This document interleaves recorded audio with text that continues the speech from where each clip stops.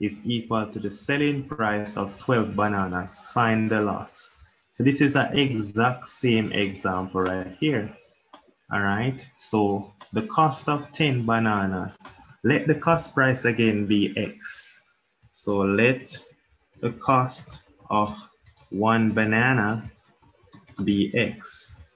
All right, so that means the total cost price, the total cost price would be equal to, we bought 10 bananas, so that's 10X. Now, let the selling price, selling price of one banana, let the selling price of one banana be equal to Y. And so that means the selling price is equal to 12Y. But they tell us that the cost of 10 bananas is equal to the selling price of 12 bananas.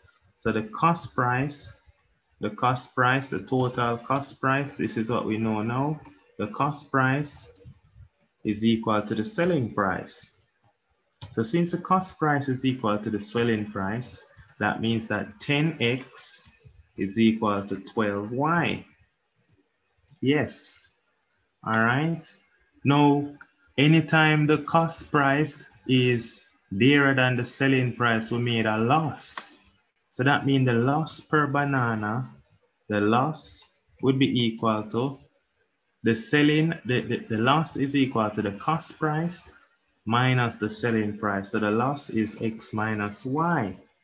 That would be our loss. That is our loss. So therefore now our percentage loss is equal to the loss of X minus Y divided by our cost price. So it's X minus Y divided by our cost price of X. And then we multiply it by 100 multiplied by 100. But of course, looking at this equation right here, if we have 10x is equal to 12y, if we were to divide both sides by 12 right here, divide both sides by 12, what we would get is this 12 cancel this 12, and so we would end up get that y is equal to, this look like 10x over 12. And some people might simplify to say y is 5x over 12, 5x over 6. So if y is 5x over 6, then the percentage loss is going to be x minus y, but y is what? y is 5x over 6. This is 5x over 6 and this is all being divided by x. And then we multiply it by 100. So what does that mean? x, x minus 5x over 6, we can use LCM, and this would then become 6x over 6. And so what we end up get is 6x, 6x over 6 minus 5x in the numerator becomes 1x over 6. So 1x over 6, and that is divided by x. And then we multiply it by 100.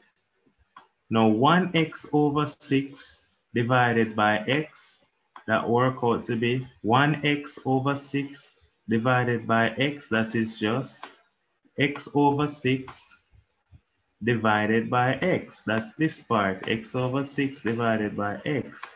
That's what we have. And then we multiply it by 100. Now x over 6 divided by x, what is going to happen is this becomes x over 6 multiplied by 1 over x. x over 6 multiplied by 1 over x and then that is multiplied by 100.